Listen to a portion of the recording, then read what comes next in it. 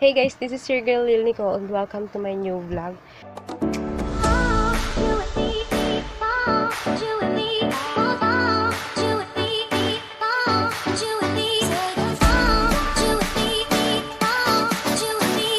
My vlog for today is about eyebrows tutorial, mas lalo na sa mga beginners. Kung meron pa bang mga beginners na nahihirapan mag uh, magkilay at ayan, maglagay ng kilay at hindi alam kung saan magsisimula kung paano magkilay. So, ayun, bibigyan ko kayo ng tatlong tutorial at tatlong tips. Ipapakita ko lang sa inyo yung eyebrow threading na pinagawa ko dyan sa kilay ko. Doon yan sa Naga Aesthetics kung malapit kayo dito sa Naga City area, dito sa Camarines Sur, madali lang siyang mahanap kasi nasa, ano lang siya, malapit siya sa Plaza 15 Martires. Um, katambing building lang siya ng e-mall. Proceed muna tayo dun sa clip na pagpa-eyebrow threading ko sa Naga Aesthetics.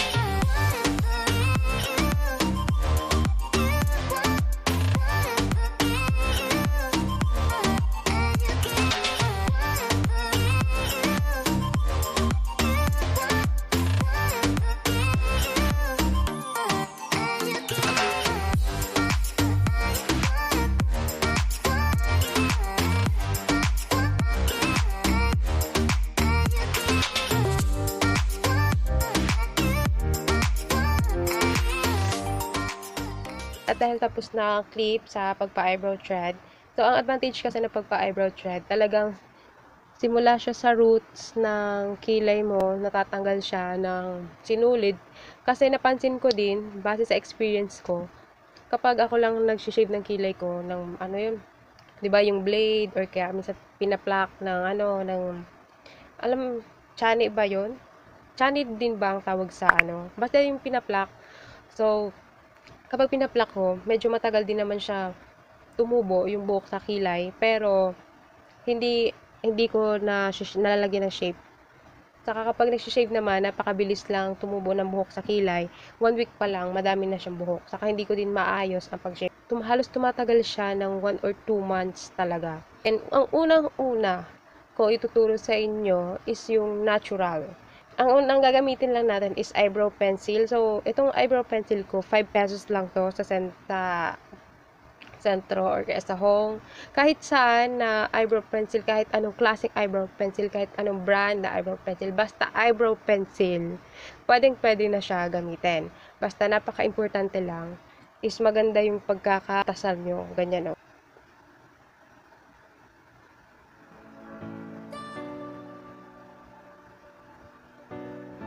Yan ang unang-una, lag guhit lang muna dyan sa baba, tapos sunod dito sa taas.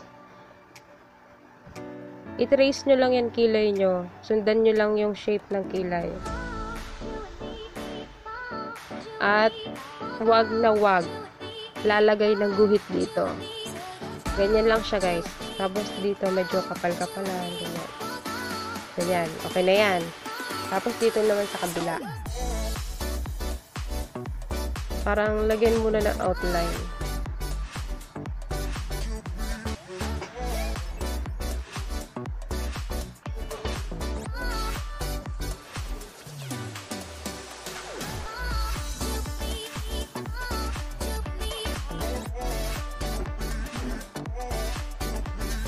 So, ayan ang first step. Outline muna. Tapos, ang second step, kailangan nyo ng spoolie, kahit anong brush na pangkilay. Ito, spoolie ang gagamitin ko. Spread. Spread nyo lang, guys. Ayan, spread nyo lang.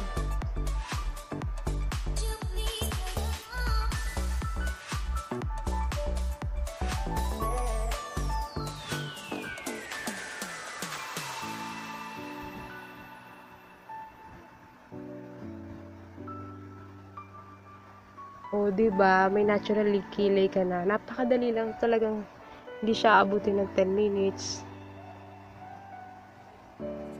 Hindi ka aabutin ng isang oras sa pagkilay. Ganito naman kapag yung mga gusto ko lang, ayan, kaya may pupuntahan ka lang sa labas, may bibilin lang sa labas, sa mall, kailangan mo lang ng natural kilay lang.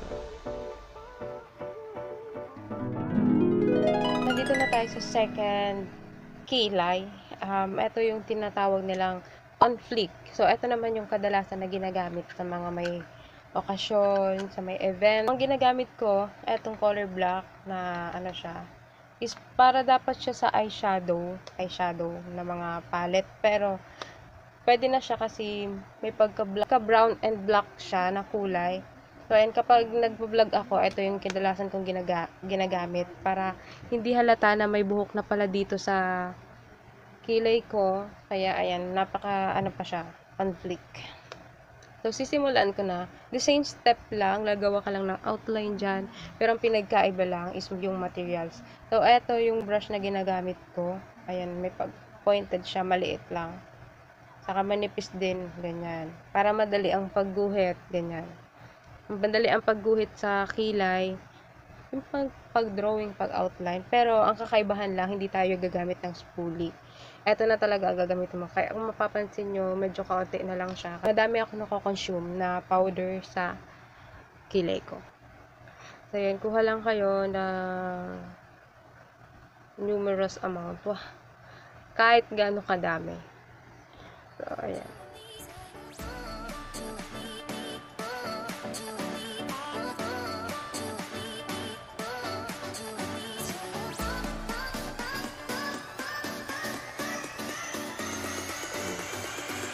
Di ba?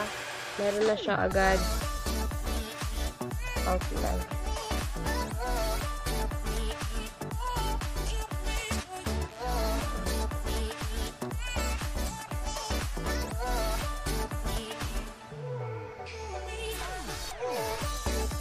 So, ayun, kalat-kalat na lang guys. Ikalat-kalat nyo para hindi masyadong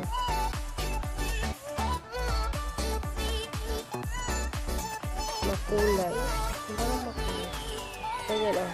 Kalat-kalat siya. Tapos lagyan mo ng ganyan.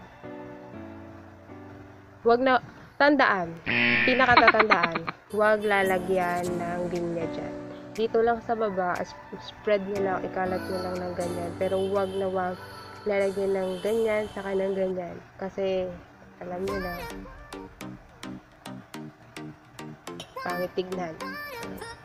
Ito yung mga pang-event ng mga kilay.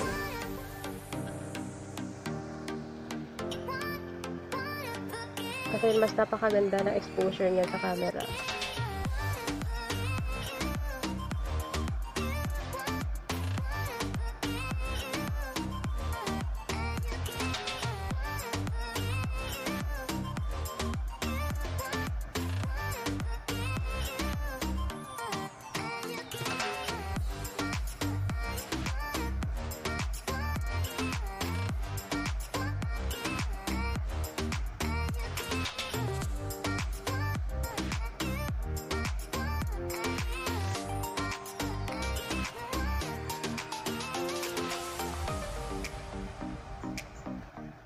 Ito, ito kapag naka-conflict na pangkilay, ayan, yung mga panglabanan, yung mga, yung mga lumalaban, lumalaban, na mga nakilay, ganyan.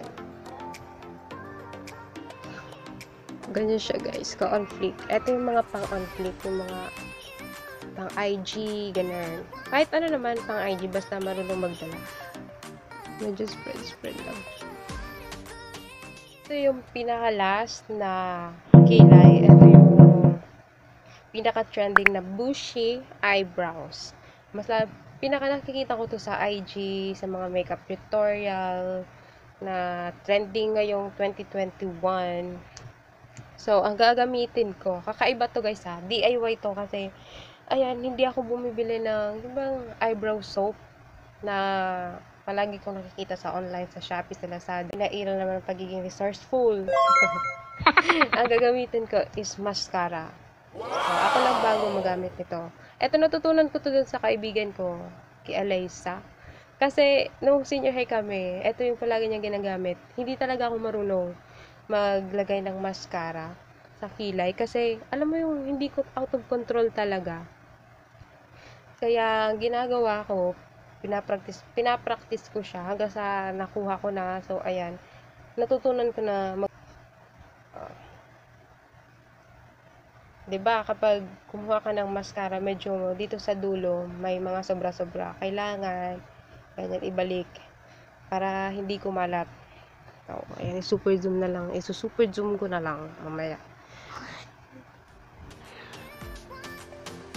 Ganyan lang siya guys oh. yung bang parang ginagawa sa pilik mata ganyan din ang gagawin. Hindi wag masyadong lagyan ng pwersa para dumiin sa kilay Basta pag naramdaman mo ng ganyan, may ina, umaano na sa, dumidikit na sa buhok, sa kilay, pwede na yan. Ito yung mga kilay ng mga pampakute. Hindi, yung parang ano lang, simple, simple, simple, simple. Looks lang siya. So, ayan ang pagkakaiba. Ito yung wala pang mascara at ito yung may mascara na, o diba? Bu- Bushy eyebrows. Ito ha, DIY, DIY bushy eyebrows ko lang to kasi wala akong pambiling eyebrow soap. Saka ayoko din gumamit ng eyebrow soap. Kasi pwede naman ng mascara. Oh my god guys, nakikita niyo ba ang pagkakaiba? Maraming maraming salamat sa mga nanood at kung nakatulong to, i-recommend nyo na sa mga friends nyo, sa mga momshies na mahilig din kumilay at sa mga kilay is life. So, ayan, wag na wag kalimutan i-like at i-subscribe ang aking channel. At kung may gusto kayong i-suggest at may comment, dyan, lang po sa comment section. At mention ko lang ulit, kung may mga gusto kayong itanong tungkol sa Nagasthetics, open ang comment section. Lalagyan ko din ng link ng kanilang FB page. At yung pagpa-eyebrow thread ko, nakita nyo naman yung process kung paano. At saka yung safety protocols na ginagawa din doon sa loob ng kanilang salon.